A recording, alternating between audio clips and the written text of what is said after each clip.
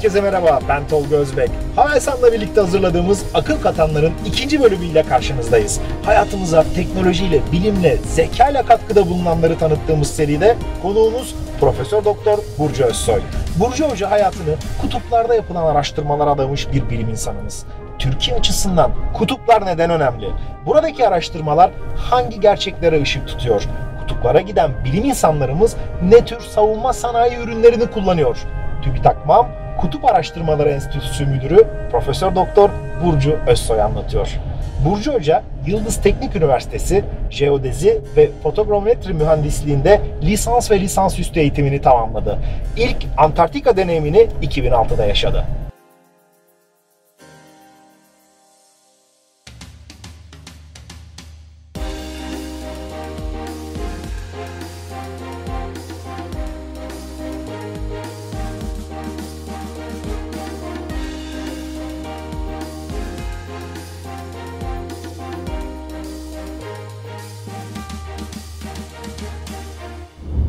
Burcu Hocam öncelikle çok teşekkürler röportaj teklifimizi kabul ettiğiniz için.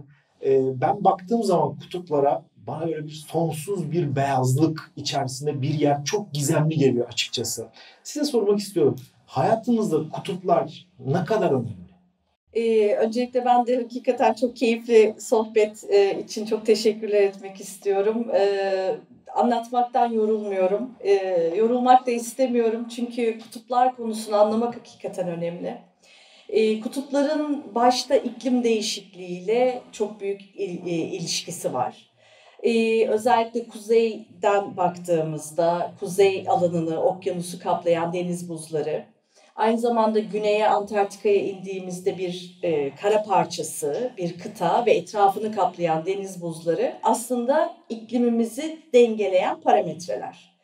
Tabii e, magazinsel olarak duyuyoruz işte buzlar eriyecek, deniz suyu seviyesi yükselecek. Bu tamamıyla karasal buzlardan e, bahsettiğimiz buzlar. Ben hemen lafınızı böleyim. Aslında tabii kutup diyoruz. Bir e, kuzeydeki kutup var, bir de güneydeki kutup var.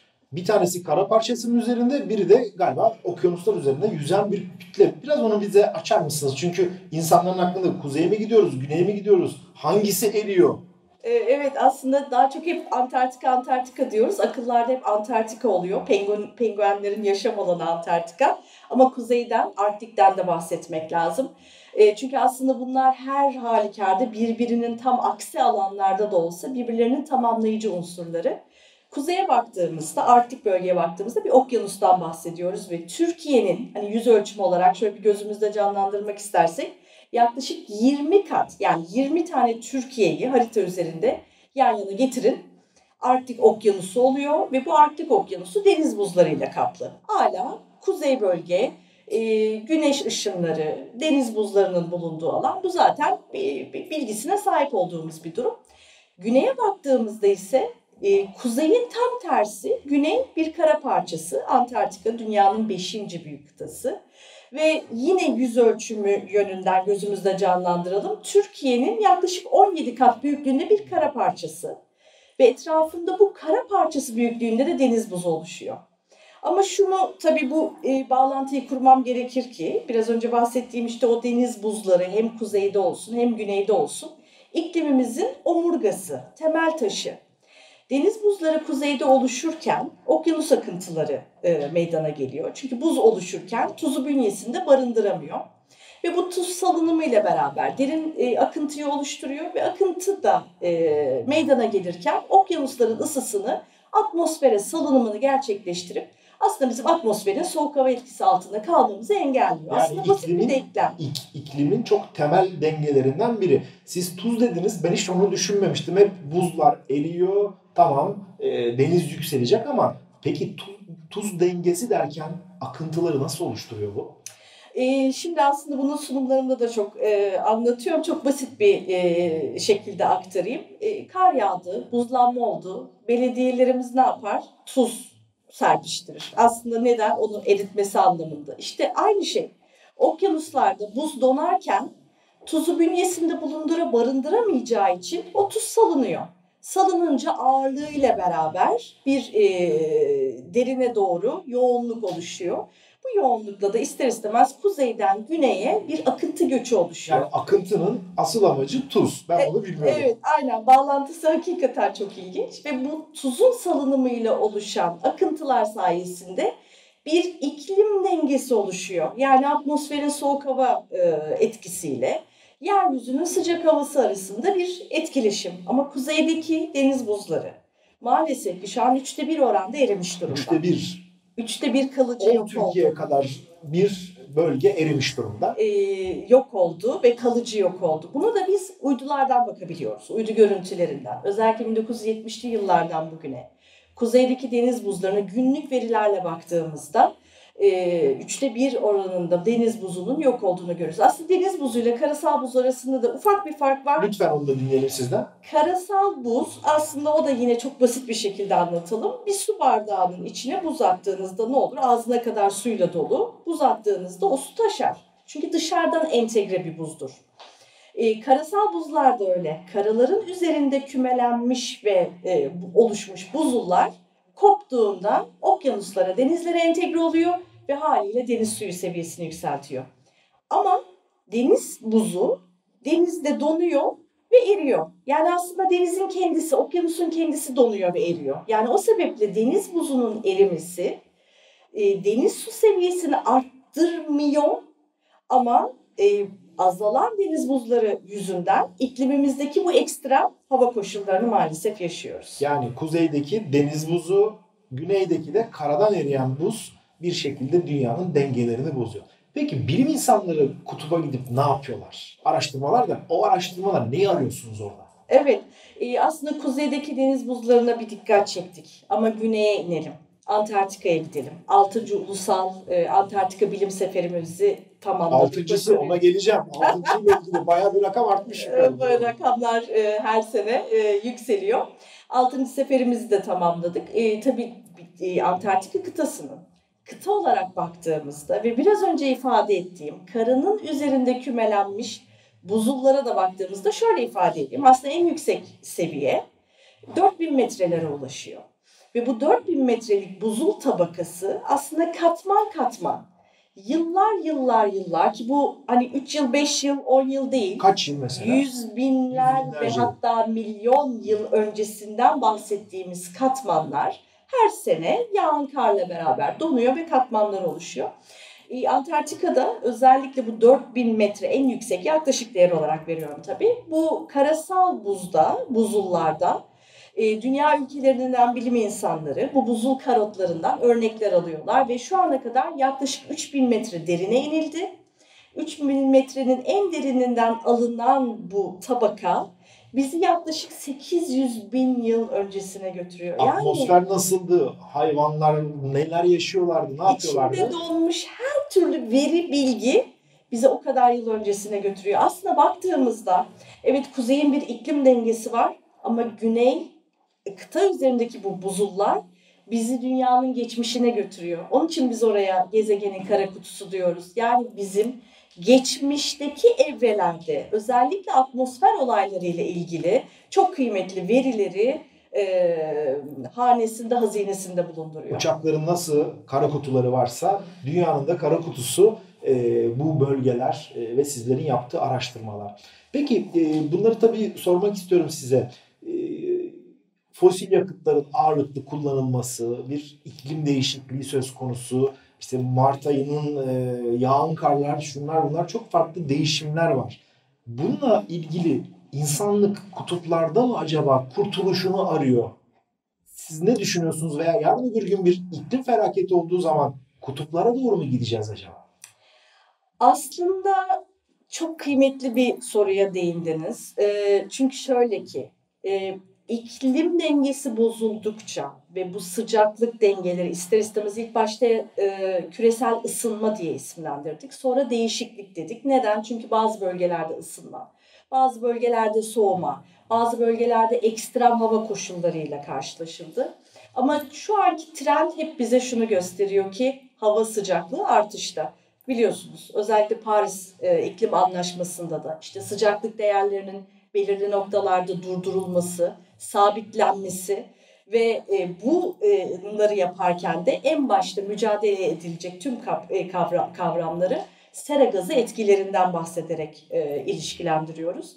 E, Antarktika ya da kuzey ya da güney, ister Arktik olsun ister Antarktik olsun. İklim değişikliğinin ısınmasından en etkilenen bölgeler, etkilendikçe de dünyayı en etkileyen bölgeler olarak şu an çıkamayacağımız bir döngüye girdik.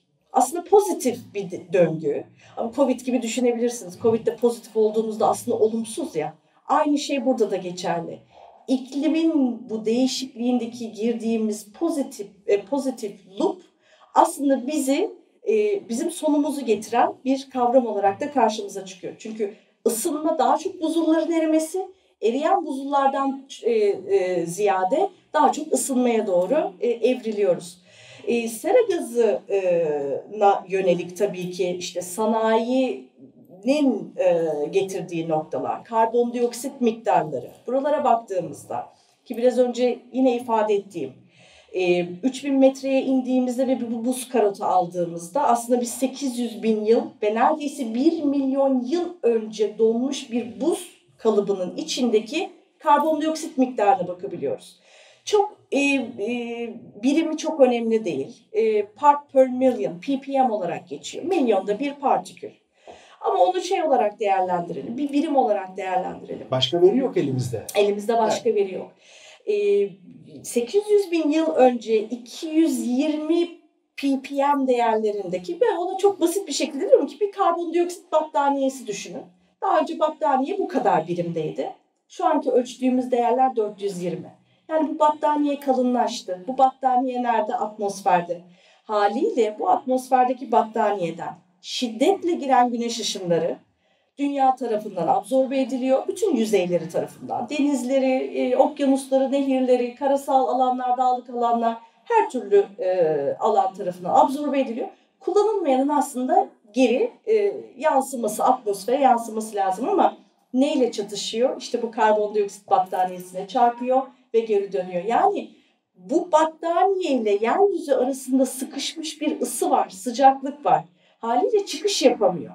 O sebeple zaten biz bu sera gazıyla mücadele kavramının üzerine gidiyoruz ki bu e, atmosferde biriken gazlar seyrelsin ve dünyada sıkışma, yani sıkışmadan çıkması gereken ısının da çıkması gerekiyor. Yani kurtuluşumuz o e, karbon battaniyesini biraz inceltmekte. İnceltmek. Peki umut var mı?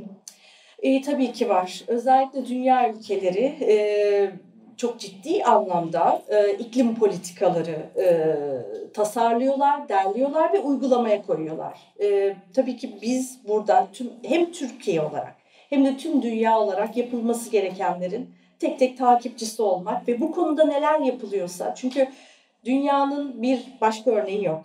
Dünyanın başka bir alternatifi yok. Evet böyle hani çok e, keyifli bir şekilde şu an işte alternatif gezegenler, işte diğer gezegenlerdeki madenler, e, onları araştıran uydular, e, yörüngelere giren uydular şeklinde e, çalışmalar yapılıyor ama dünyanın hakikaten alternatifi yok ve bizim tekrar özellikle bir eşik noktası. Nedir eşik noktası? İşte yokuşu çıkarsınız, yokuşu zor tırmanırsınız. Ama tırmanıp o eşiği geçtikten sonra ondan sonrası yokuş aşağıdır. Onun ne geri dönüş vardır.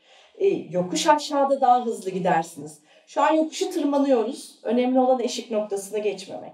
Bunu hem sektörel hem bireysel hem devletler olarak yeni yeni belki de e, kuralları hayatımızı hızlıca geçirmemiz gerektiğini anlıyorum ben bunlardan. Evet.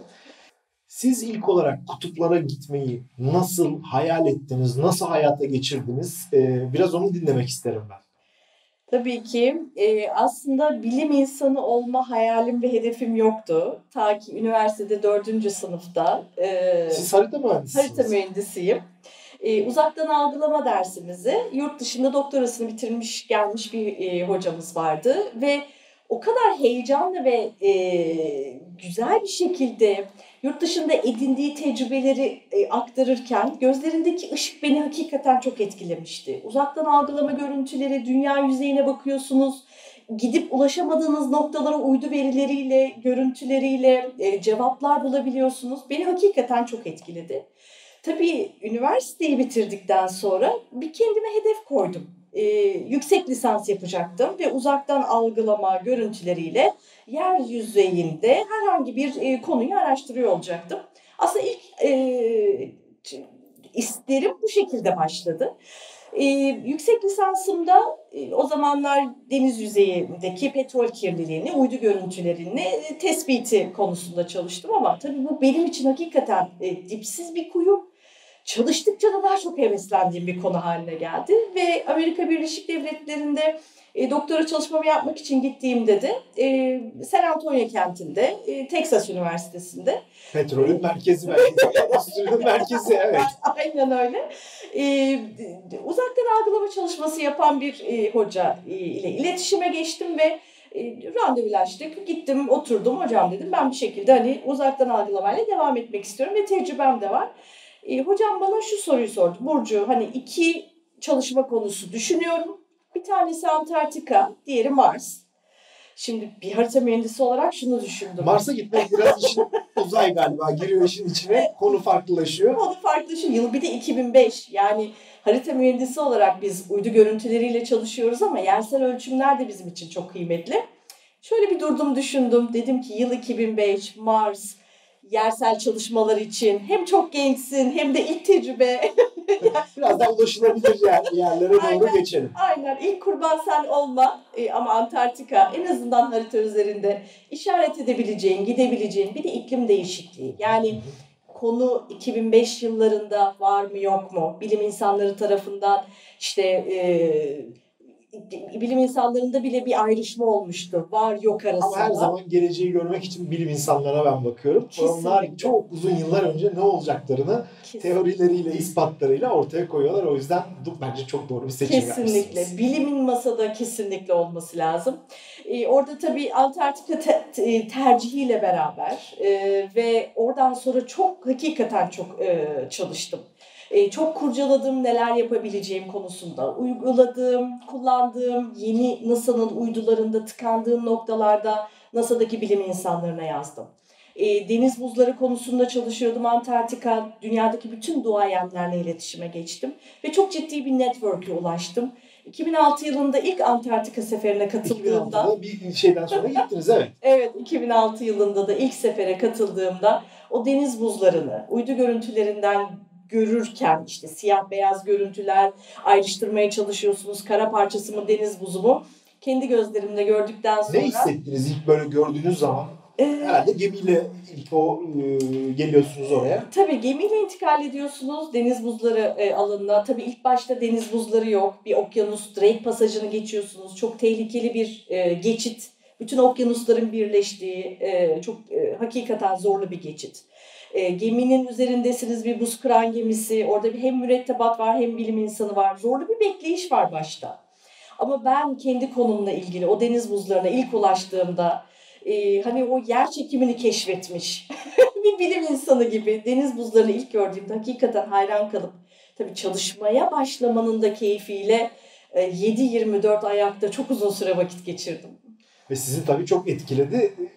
Kaç oldu, kaç sefer oldu bölgeye gidişiniz? Benim yedi sefer oldu. Yedi sefer oldu. Daha da gitmeyi nasip olsun diyelim size. İnşallah. Ee, ben şeyi sormak istiyorum. Tabii ki e, bir kutup çalışmaları yaklaşık 200 yıldır sürüyor. Biraz biz Türkiye olarak geç mi kaldık bu çalışmalara? Çünkü son yıllarda da o açığın kapatılması için çok ciddi bir çaba var. Hı hı. Ee, geç mi kaldık? Ne düşünüyorsunuz bu konuyla ilgili? Ee, Aslında başlanmış hiçbir şey geç kalmış değildir. En azından yakalamak lazım onu ama. Ne kadar güzel söylediniz. Aslında geç kaldık vazgeçelim demektense e, bulunduğu noktadan yakalamak bence çok kıymetli. Bir de ister istemez 1800'lü yılların sonundan itibaren Antarktika'nın keşfinde bulunmuş ve hatta tırnak içinde söylüyorum hak iddiasında bulunan ülkeler bir kenara. Şu an Antarktika'da bilimsel çalışma yapan 54 ülke mevcut. Yani bu ülkelerin arasında geç girdik, geç kaldıktan ziyade belirli bir noktadan yakalamak ve siz Antarktika'nın neresine giderseniz gidin belki de orada ilk kez siz varsınız. Çünkü çok büyük bir e, alandan bahsediyorsunuz ve yapılan her çalışmanın çok kıymetli özgün değerleri var. Bu sebeple özellikle bizim 2017 yılında e, Cumhurbaşkanlığı himayesinde, Sanayi Teknoloji Bakanlığı'nın e, uhdesinde, ilk üç seferini İstanbul Teknik Üniversitesi'nin koordinasyonunu, koordinasyonunda e, tertiplediğimiz, sonraki dördüncü, beşinci, altıncı seferleri de TÜBİTAK Marmara Araştırma Merkezi Kutup Araştırmaları Enstitüsü koordinasyonunda e, tertiplediğimiz çok kıymetli bilimsel seferlerimiz mevcut. Ve özellikle bu biraz önce ifade ettiğim ülkelerle bir araya geldiğimizde sahada yaptığımız çalışmalardaki çok ciddi alanda elde ettiğimiz veriler ve gücümüzle masada da çok kuvvetli hale geldik ve diğer dünya ülkelerinin Türkiye'ye bakışı şu, yüz küsür yıldır bu çalışmaların içinde olan ülkeler ve totalde ulaşılmış ülkelerin yüzde kırkının önüne geçti Türkiye. Bu bence bizim kendimizin ifade ettiği değil, diğer dünya ülkelerinin ortaya koyduğu bir e, değer ve bence geç kalmışlıktan ziyade diğer ülkelerin yapmış olduğu yanlışlardan da öğrenimle biz çok ciddi yol kat ettik. Türkiye gözlemci statüsünde bildiğim kadarıyla Peki böyle bir insanımızın her zaman benim de hayalim var. Ne zaman bir gözlem, bir deney merkezimiz olacak mı kutupta? Bununla ilgili çalışmalar var mı? Ee, aslında şöyle e, çok güzel bir noktaya parmak bastınız. Antarktika bir kara parçası ama hiçbir dünya ülkesine ait değil. Ülkelerin bayrakları altında yönetiliyor. Bilim Antarktika, amaçlı sadece çalışmalar tamamıyla. yapılıyor. Aynen. E, e, barış ve bilime adanmış ve bu bayraklar e, altında danışma ve gözlemci statüsünde olan ülkelerce bir e, yönetimi var. Biz gözlemci statüsündeyiz sizin de bahsettiğiniz gibi. Tabii ki temel hedef bizim de danışman statüsüne geçip Antarktika'nın geleceğiyle ilgili bütün karar mekanizmalarının içinde olmak. Çünkü hakikaten şu ana kadar yapmış olduğumuz bilimsel çalışmalarda gelinen noktalar, bilim insanlarımızın hedefleri, Özellikle Teknofest için ifade edebilirim. İlk e, Teknofest'te geçen sene bir e, kutup e, liseler arası kutup yarışmasına gelen... Kaç kişi katıldı o yarışmaya? Bin üzerinde Binin bir üzerinde. başvuru Demek ki gençlerimizin ilgisi bu konuyla ilgili... Hem de muazzam, hem de muazzam. Ne güzel. Bu sene yine ikinci çağrıyı açtık öğrencilerimiz Gençlerimize de diyelim o yarışmalara ilgi çok büyük. Daha da ilgi gösterin ki sizin geleceğinizle ilgili çalışmalar için bir ışık olsun, o bir yol olsun. Çünkü sizler gibi çok değerli bilim insanlarıyla e, orada sorular soruluyor, değerlendirmeler yapıyorsunuz. Valla gençlerimiz bu fırsatı kaçırmasın diyoruz. Kaçırmasınlar. Biz de el vereceğimiz gençler bekliyoruz hakikaten. Bizler bir yere kadar getireceğiz ama ondan sonra muhakkak bayrağı devredeceğiz. Bu kadar heves, bu kadar hakikaten öğrencilerimizin ilgisi ki sadece belirli bir alanda da değil. E, fiziki alanda olsun, canlı bilimleri alanında olsun, yer bilimleri hatta sosyal bilimler alanında olsun. Çünkü neticede hiçbir dünya ülkesine ait olmayan bir kara parçası. Kuzeye baktığınızda kuzey ülkeleri Kanada, Rusya, Amerika ve Kuzey Avrupa ülkeleriyle çevrili bir Arktik okyanusu. Sosyal anlamda da çok kuvvetli alanlardan bahsediyoruz. Öğrencilerimiz çok hevesli. Aslında bu güçler bize, bu sahada elde ettiğimiz güçler masada da çok ciddi güç veriyor. Yani şimdi de tabii diplomasi tarafı var. Yani e, masaya oturdunuz, bu bir devasa bir parça. E, Birçok herkes hak iddia edebilir ama Biraz diplomasi galiba bilimle konuşuyor burada. Bilimle konuşuyor. Bilim insanları hep ön safta. Bu çok önemli. Hak iddiaları konusunda haklısınız. Özellikle 7 hak iddiacı devlet var. E, keşiflerinde bulunan ülkeler, Kuzey Avrupa ülkelerinden var. E, ama ister istemez barışa ve bilinme adanmış bu kıtanın yine bilim insanları tarafından e, barışla geleceğe ışık tutması. Geleceği nasıl ışık tutuyor? O da geçmişi çalışarak bu geçmiş ne, ne zamanlara dayanıyor? Milyonlarca yıl öncesine. Orayı kaybedersek dünyayı kaybetmiş anlamına geliyor. Ben oradaki çalışmalarda aslında Türkiye'deki savunma sektöründe geliştirilen bazı teknolojilerin bilim amaçlı sizlere verildiği şeyler var. İşte bunlardan bir tanesi Havelsan'ın mesela GNSS sistemi, e, TÜBİTAK'ın keza aynı şekilde katkısı var. Aselsan'ın keza aynı şekilde katkısı var. E, bu son seferde biraz o konular öne çıktı diyelim.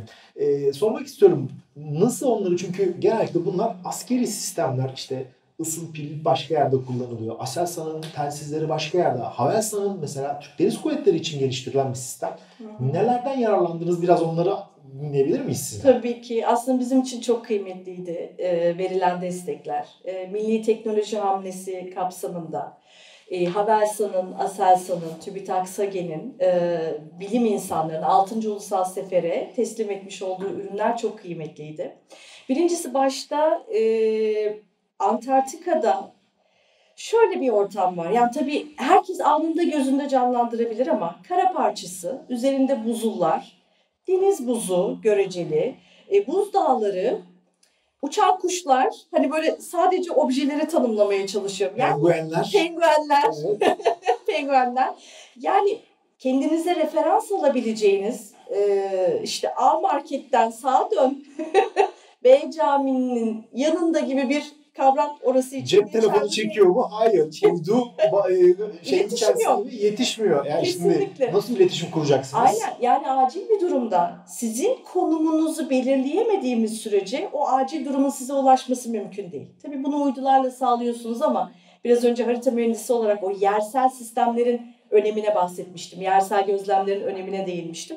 Yine aynı şekilde dünyanın kurduğu bir e, global e, uydu e, sistemi yersel olarak konumları doğrulayıcı bir şekilde kurgulanmış. Orada bir ağ var. GNSS ağı var. Havelsan tarafından geliştirilmiş GNSS. Bakıyoruz deniz oldu. için yapılan bir sistemi siz aslında karaya konuşlandırıp e, bir şekilde Bu e, sisteme bu dahil sisteme ettik. de dahil ettiniz. Ve Aynen onları öyle. test ettiniz. Kesinlikle. Nasıl sonuçlar? Ee, ilk sonuçlar hakikaten çok önemli. Çok güzel veriler e, elde ettik. E, bilimsel olarak muhakkak çok ciddi noktalara taşıyacağız. Bir bilim insanı olarak e, tabii ki tek baktığımız, en, en öncelikli baktığımız nokta bilimsel noktalar. E, ekipmanımızın özellikle denenmesi, ilk verilerin alınması ve gelecek senelerde toplanacak veriler bizim için çok kıymetli. Özellikle yer- yerel olarak, ulusal olarak e, kurgulanmış bu ekipmanın e, dünya ağına eklenmiş olması da bizim için çok kıymetli. E, ister istemez bu öncelik ve bizlerin yaptığı bu çalışma ileride dünya ülkelerinin bu GNSS ekipmanının tercih etmesi anlamına da gelecek. Onun için bizler için büyük gurur. Burada Hakikaten Havelsan'a da yeni bir belki bir pazar şansı pazar şansı. açılacak. Evet. Ee, bir de tabii ki e, bunlarla ilgili Havelsan'ın bir başka önemli konusu simülasyonların yazılması, edilmesi. E, gelecekteki çalışmalarla ilgili kutup e, bilim seferleriyle ilgili bir işbirliğiniz olacak mı? E, aslında biz düşünüyoruz. Bizim için çok kıymetli. Yine uluslararası pazarda da kıymet bulacak bir e, konu hakkında görüştük. Aslında şöyle, işte Antarktika'ya gidiyoruz. E, İstanbul'dan baktığımızda 14 bin kilometre uzaklıktaki bir noktaya çok ciddi bir lojistik operasyon yapıyorsunuz ve lojistik operasyonlar bir şekilde ekipmanlar olsun, gıda olsun, bilimsel e, malzemeler olsun e, buradan gönderimi e, sağlanıyor. Çok meşakkatli süreçler çünkü çok uzak bir noktaya lojistik planlama yapıyorsunuz. Ama aynı zamanda insanların da hazırlanması lazım. Gemi koşullarında nasıl davranacaklar? Karaya ayak bastıklarında nasıl bir de şu salgın davranacaklar? döneminde yani Bir oraya hastalık taşımak, bilim insanları var orada bir steril bir ortam var. Kesinlikle çok da e, Antarktika'yı e, Covid'siz tutmaya çalışsak da her halükarda yayıldı. Biz çok şükür seferimizi Covid'siz e, tamamladık. Ama özellikle bu simülasyon sistemini e, karaya, kıtaya gidecek bilim insanlarının özellikle hazırlık aşamalarını simüle edebileceğimiz bir sistem e, bizim heveslerimiz, hedeflerimiz arasında. Yani Havelsan aslında işte uçak, helikopter, kara sistemleri, deniz sistemleri simülatörlerinin yanı sıra bilim insanları için de belki de bir kutup simülatörü yapacak ve Evet. sizlere bu anlamda getirdiğiniz verileri değerlendirecek bir yazılım, bir eğitim amacı olarak sizlere sunacak. Evet.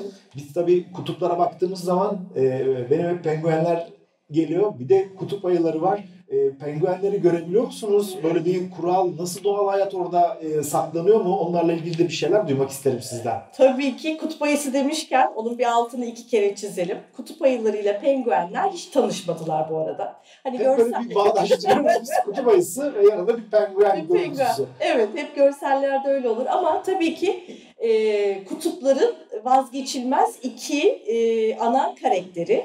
E, kutup ayıları ve penguenler. Kutup ayıları yalnız kuzeyde yaşıyor, Arktik'te yaşıyor. Penguenler de güneyde, Antarktika'da yaşıyor. Önce bu ayrımı yapalım. Ben özellikle Gençlerimiz küçük kızıma çocuk- anlatacağım bunu. Çok güzel. Gençlerimiz, çocuklarımız çok iyi biliyorlar bu arada. Hakikaten ekosisteme muazzam e, hakimler ve e, çok güzel hani penguen konusunda da çok bilinçliler. Penguenler konusunda yalnız şöyle sahada bir durum var. Bir 5 metre kuralımız var. Penguenlere biz 5 metreden daha fazla yaklaşamıyoruz. Çünkü biz onların doğal ortamına giriyoruz. Ee, ev onların evi. Ortam, doğal yaşam ortamı onların. Biz dışarıdan gelenleriz. İster istemez, ister ayaklarımızdaki e, işte taşınmaması gereken e, mesela solüsyonlarla özellikle çektiğimiz her türlü görüntüde, belgeselde de bunları e, dikkat e, çekmeye çalışıyoruz ki biz herhangi bir şey taşımayalım kıtaya. Onun için özel solüsyonlarla muhakkak ayaklarımızı, ayakkabılarımızı yıkadıktan sonra e, karaya ayak basıyoruz. E, bir 5 metre kuralı var ki bu 5 metre kuralına muhakkak uyuyoruz. Çünkü onların doğal ortamında onları rahatsız etmememiz gerekiyor.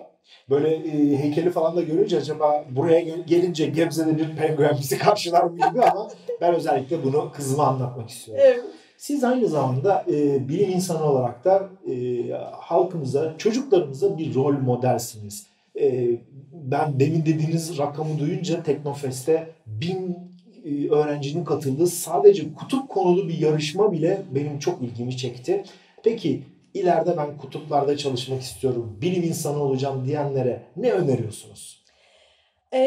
Bize gençler hakikaten akın akın bizimle iletişime geçiyorlar. Bu beni çok mutlu ediyor. Çünkü zamanında ben de aynı şekilde üniversitede doktora öğrencisiyken kutuplarda çalışma yapan bilim insanlarıyla, doğayan insanlarla iletişime geçerek buralara geldim. Onun için bizimle iletişime geçen her öğrenci, her birey muhakkak yanıtlanıyor. Ben ve ekibim olarak buna çok hassasiyet gösteriyoruz. Çünkü aynı aşamalardan geçtik.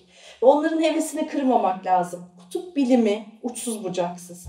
Biraz önce saydım. Yani sosyal bilimlerinden tutun yer bilimlerine kadar tamamıyla 360 derecelik bir yelpaze. Bir bilim insanının psikolojisinden tutun bir penguenin psikolojisine. Ee, orada volkanik kayalardan tutun e, buzulların içinde biriken karbondioksit miktarına. Çok ciddi bir bilim yelpazesi var ve bu bilim sordukça sizi daha çok heveslendiriyor. Ve biz gençlerimize özellikle onların tertiplediği TEDx konuşmalarına, e, bilimsel seminerlerine muhakkak dahil oluyoruz. Onlarla e, konuşuyoruz, bir araya geliyoruz, onlara el veriyoruz. Ben tabii ki onların sormalarını, e, sorup bazen yanıtsız kaldığında, hani bizim tarafta değil ama muhakkak kimlere kimlere ulaşmaya çalışıyorlardır. E, hevesleri kırılmasın. Birine ulaşamazlarsa bir başkasına muhakkak ulaşsınlar. Bilim so- sorularak ulaşılır ve bilimin hakikaten yanıtlaması gereken çok soru var. Bizim de bilim insanlarına ihtiyacımız var ve özellikle son dönemlerde e, özellikle mesaj verilmesini e, istediklerinde ben özellikle Nobel ödülü diyorum. Yani başta e, tabii ki Türkiye'den Nobel ödülü almış bilim insanı sayımız e, Aziz hocamıza bakıyoruz. E, hakikaten bizim için e, çok kıymetli. Ben sayısının daha çok artmasını istiyorum. Tabii bir de kadın cephesinden baktığımızda kadın Nobel ödülü alan sayısı da dünyada yok. Neden bunu bir kutuplar üzerine araştırma yapan bir bilim insanımız almasın? Ee, ne mutlu olur. Ne mutlu olur. Evet. Çünkü görünen şu ki ilgi gerçekten yüksek. Son olarak da sorum biz tabii kutuplar soğuk, buz, karlar, tipiler yağıyor. Bir bembeyaz bir kütlenin üzerinde çalışıyorsunuz. Kıyafetlerinizi sormak istiyorum. Ee, biz tabii bu araştırmalar yapıldığı zaman kış aylarına denk geliyor ama galiba güney yarım kürede yaz dönemi. Hı hı. Hangi sıcaklıklarda görev yapıyorsunuz orada? Burada da sizin giydiğiniz e, kıyafetiniz var. Aslında şöyle Antarktika'nın yazında gidiyoruz deyince gözlerimizde böyle e, harika bir yaz havası belirmemesi Denize lazım. Gireceğiz. Şezlonglar falan yok tabii ki. Hiçbiri yok. E, biz bugüne kadar eksi 15'i ölçtük. E, ama tabii rüzgarla beraber rüzgar eksi, ne kadar esiyor çok orada? Şiddetli, çok şiddetli. Çok şiddetli rüzgarlar var e, ve e, hissedilen eksi 30'lar, eksi 40'lar. Tabii sahada çalışmaları yapmak için de uygun koşulları e, sağlamanız gerekiyor ve en önemli koşulda kıyafet ve gıda ile yaratıyorsunuz. E, kıyafetin özellikle katman katman olması çok önemli. Terlememeniz gerekiyor. Terlemek oradaki en tehlikeli kavramlardan bir tanesi. Çünkü terlediğinizde anında o soğuğu daha fazla hissediyorsunuz. Annelerimiz der ya şöyle bir terlemeyin diye. Demek ki orası için çok önemli. Fazla terlemeyeceğiz. Valla sizle e, sabah kadar konuşabiliriz. Soracak gerçekten benim de çok sorum var ama e, süremiz biraz kısıtlı. Bu keyifli sohbet için çok çok teşekkür ediyoruz ve gençlerimizi Teknofest'teki yarışmalara o e, ilk bilgilerini, ilk çalışmalarını yapsınlar diye de davet ediyoruz. Hocam çok çok teşekkür ederim. Sağ olun. Ben çok teşekkür ediyorum dahil ettiğiniz için. Çok sağ olun. İşte aklımda kalanlar. 1. Kutuplar dünyamızın kara kutuları. Geçmiş de orada, gelecek de orada. 2. Türk bilim insanları bu konudaki çalışmalarını hızla arttırıyor. 3. Türk savunma sanayi şirketlerinin, kurumlarının ürünleri buralarda, kutuplarda yapılan çalışmalarda kullanılıyor. 4. Özellikle Teknofest'lerde kutup yarışmaları var ve gençlerimiz bu yarışmalara büyük ilgi gösteriyor. Evet, bu programımızda kutuplar dünyasına beraber baktık. Gelecek bölümde farklı bir konukla görüşmek üzere.